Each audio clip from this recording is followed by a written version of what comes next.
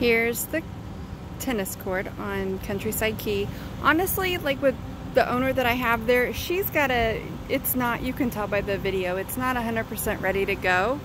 Um, I'd feel better of having it cleaned up, the kitchen cabinetry on there and stuff for you to see it that way um, after seeing it today. But it's a cute area.